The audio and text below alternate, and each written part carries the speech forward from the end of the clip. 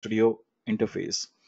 If I'm not wrong, almost 95% of Energy Plus functions are in Open Studio, but some of the functions um, right now I can't uh, remember on on top of my head, but there are some of the functions which you can't uh, do in Open Studio. But for those functions, you can actually run a particular special kind of measure, which we call them as Energy Plus measures.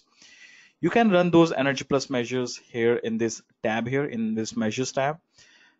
And the third third kind of measures are reporting measures. You can create different kind of reports using those measures.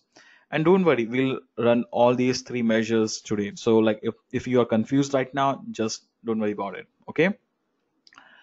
So uh, again like i totally forgot one more thing. Like when you run energy plus measure they do some changes on your idf file so uh, if you remember i showed you the lab uh, the directory where you save your file this is where i save different versions of my osm model the energy model and then if you remember i also mentioned that it creates an associated directory for your model. For example, if I want to see the associated directory for this OSM file, which I saved on June 13th, that's the folder that I need to look for. Click on it and you can see that there are three different folders again. Go to files.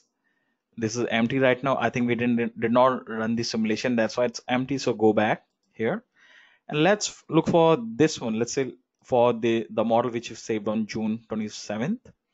Look for this folder here. And you can see there are four folders now. Go to files. And this is the uh, EPW file, which is your weather file. Then measures. That's where all your measures live. If you remember, we actually uh, provided one measure for output uh, table.